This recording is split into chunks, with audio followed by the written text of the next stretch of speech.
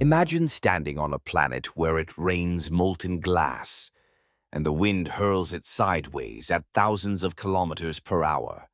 Welcome to HD 189733b, a cobalt blue gas giant with one of the most violent climates in the universe. Winds on this planet reach over 8,700 km/h. That's seven times faster than a Category 5. I've hurricane because of its extreme heat and atmospheric chemicals. It doesn't rain water. It rains tiny shards of glass.